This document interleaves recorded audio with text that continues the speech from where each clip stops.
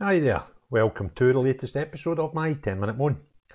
And the subject to this 10 Minute Moan is Alex Salmond taking some of Scottish Government, um, a couple of civil servants, and Nicola Sturgeon to court over £3 million. And now the Scottish Government has started getting legal advice on the matter, shows that. Uh, it's a live thing and a real thing. And the Daily Express, the Scottish Daily Express, have covered the story. And their headline is SNP government preparing for £3 million Alex Salmond court battle as it elicits secret legal advice.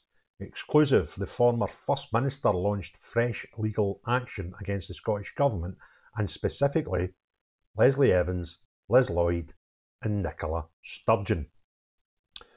So the story goes the Scottish Government is gearing up for an intense court battle with old enemy Alex Salmond as it has elicited secret legal advice. We previously told how the former First Minister is seeking damages from the SNP executive due to the way it mishandled sexual misconduct allegations against him.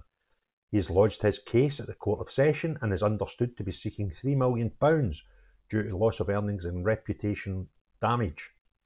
It's the second time he's taken the government to court as he won a case back in 2019, being awarded over half a million pound in costs. Humza Yousaf's administration has been quiet over the whole affair, and the Scottish Daily Express can reveal that SNP advisers have told all of their ministers to respond with it would not be appropriate to comment on live litigation.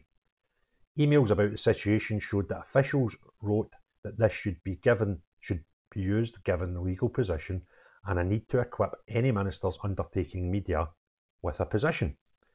We asked the government about what preparation it had done so far for Mr Salmond's legal, latest court action and were informed that legal advice had been taken but cannot be made public.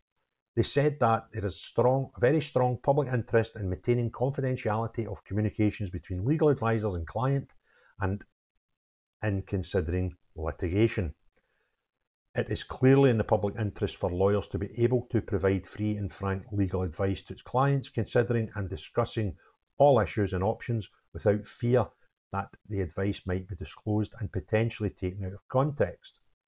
It is also the public interest that decisions are taken by government in a fully informed legal context.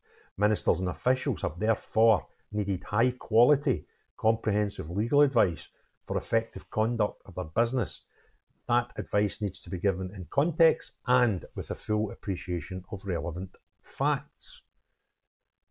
Without such legal advice, which can only be provided frankly and comprehensively and the knowledge that it will be kept in confidence, the quality of the government's decision making would be much reduced since it would not be fully informed. Litigation privilege applies to documents created in excuse me, contemplation of litigation and two, communications when litigation is either pending or being considered.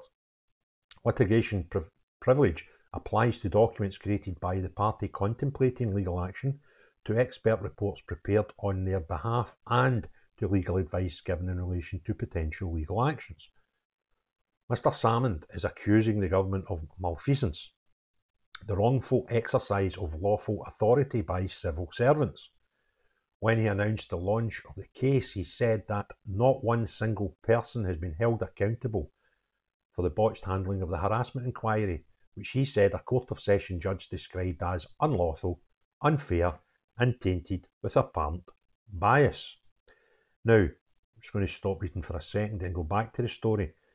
When Alex Salmond is accusing the government of malfeasance, it's quite serious. But there seems to be a lot of claims of malfeasance with this government. Just wondering it's all going to stop, and will we ever find out of all cases of malfeasance in the 17 years of the SNP's rule? Alex Salmond said, with this court action, the evasion of responsibility ends. The calling of the action signals that the day of reckoning for Scottish Government's record of malfeasance on this grand scale will inevitably come.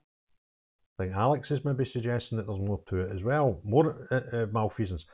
The public officials and minister named in the action include his successor as First Minister, Nicola Sturgeon, as well as the government's former Permanent Secretary Leslie Evans and the ex Chief of Staff Liz Lloyd. When asked about the situation, Mr. Yousaf, now this is quite interesting, said that they would defend its position robustly. Mr. Yousaf isn't part of this action.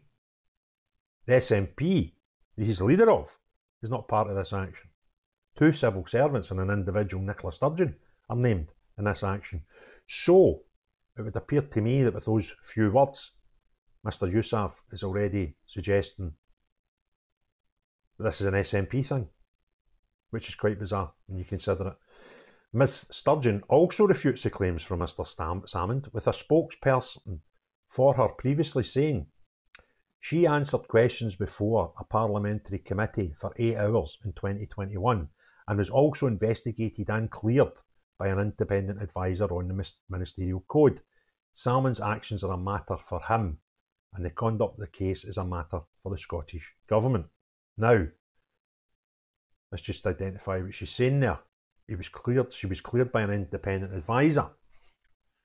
That independent advisor was uh, a Mr. Hamilton, who looked in independently, apparently, to the possibility of her having broken the ministerial code.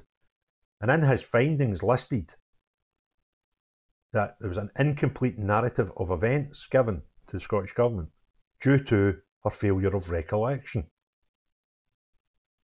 Now, if that's totally clearing someone, then I'm a unicorn. Because someone who gave an incomplete narrative of events due to a failure of recollection It's quite suspicious to me. And also, the report, when it was made public, and I believe this is still going through um, a process of appeal, the report, when it was made public, was heavily redacted. So there may be other things in there worse than having an incomplete narrative of events due to a failure of recollection, if it was ever to be made fully public. So there we have another situation of claimed malfeasance against this government, another split in the independence movement, and more importantly, the people of Scotland. More of the public purse being sent, spent on legal advice for the potential wrongdoings of individuals. And the civil service being brought into this is quite worrying because the civil service are meant to be there to provide advice and determine right from wrong and be apart from the government.